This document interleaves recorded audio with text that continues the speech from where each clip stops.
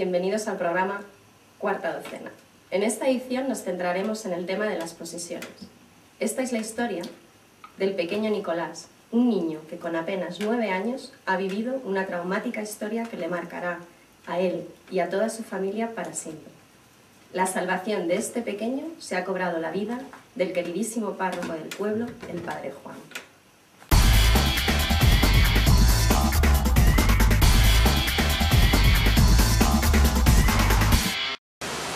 Nos hemos trasladado a esta pequeña localidad de Irueste para conocer de primera mano esta historia, la historia de la familia Soler y de sus amigos. No sé qué podemos hacer, estoy desesperado. Necesitamos la ayuda de un exorcista.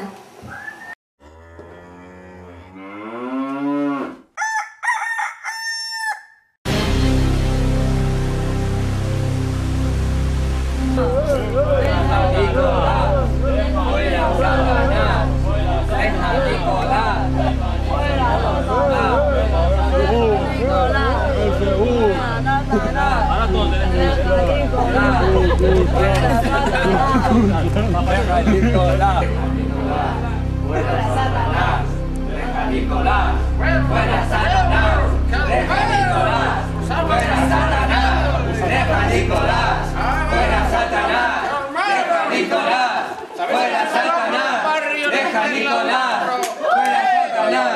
Pero escucharme, escucharme. ¿Sabes aquel que está en un bar un jorobado?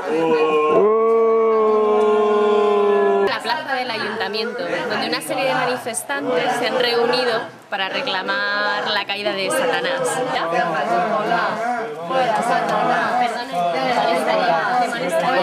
Yo es que preferiría no decir nada, lo siento. ¿Pero conoces toda la familia? Sí, sí, la conocemos, una familia súper conocida del pueblo, pero es que preferiría no decir nada. ¿Qué le pasa en esta carrera? ¿Demonio? ¿Demonio? ¿Qué ocho cuartos? No hay demonios aquí en este pueblo ni nada, ¿eh? Es un invento eso de la tele, de la tele, que tiene la culpa de todo. Queremos ver polémica, queremos ver sangre. No, si el demonio ya sabemos que está aquí hace mucho tiempo. Lleva aquí toda la puta vida con nosotros. ¿eh? Ya, lo, ya lo tenemos asumido. ¿eh?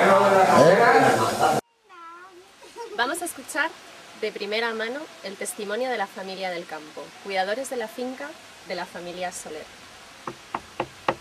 Niño, abre la puerta.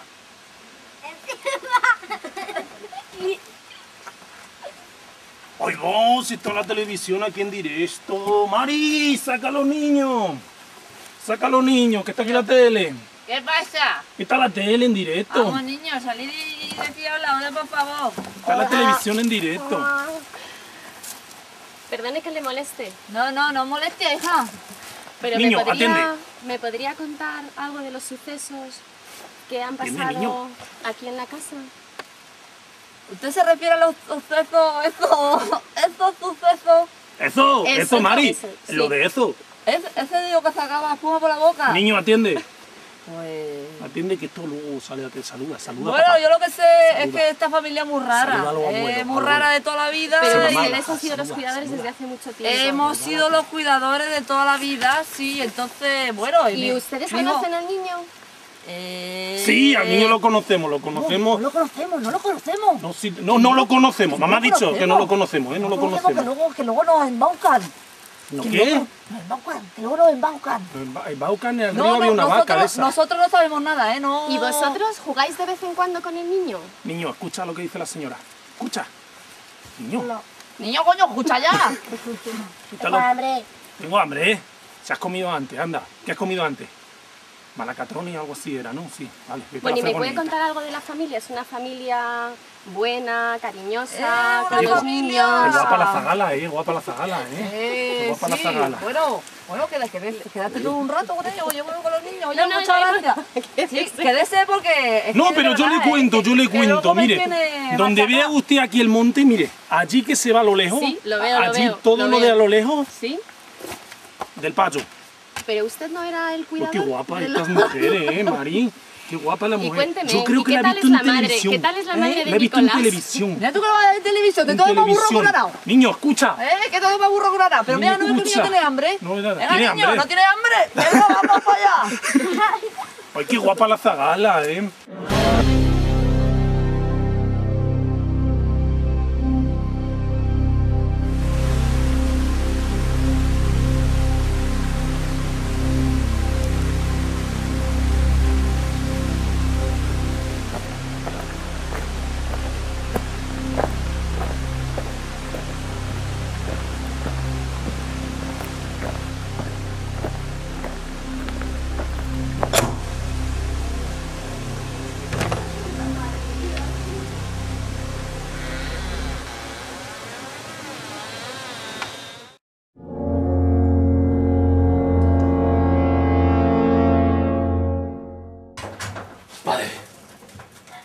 Sé qué hacer para liberar a mi hijo del demonio.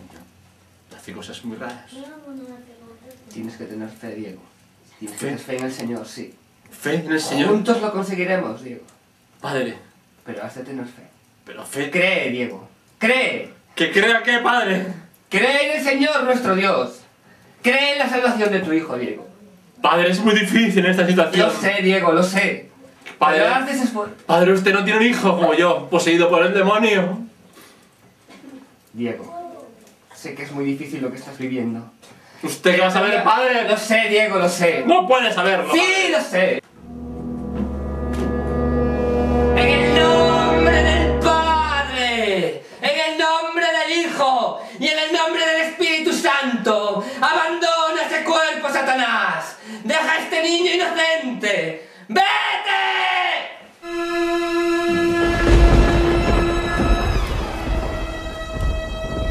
Casos en los que el poseído se desplaza por la estancia, únicamente transportado por el maligno.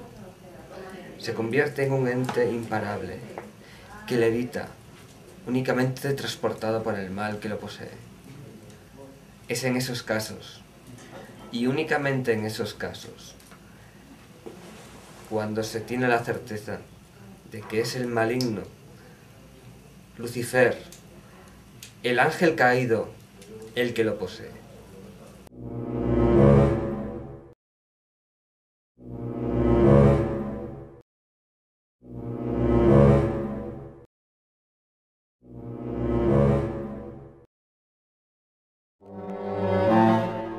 Enfréntate a mí, Satanás.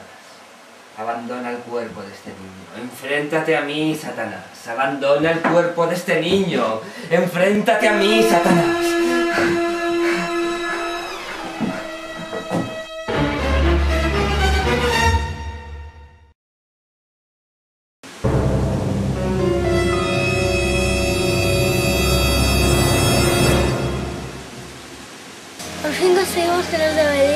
Debería nuestro.